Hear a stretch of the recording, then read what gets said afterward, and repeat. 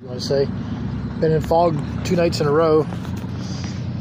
Not a lot of room. People don't want to slow down. So slow pace right now here, 27 here in Kentucky. At the bottom of my trail here, I'm showing it. I had some foam in there and put my body on it. I'm thinking it was going to push the, the floor down. So I had to take it out. I'm just duct taping it back up just to keep it a little warmer.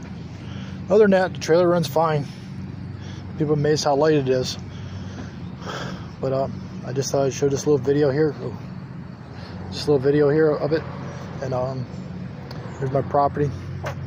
How much? Like I said, trying to switch over to the camping gear to have my own cooker, so forth. But um, have a great day, everybody.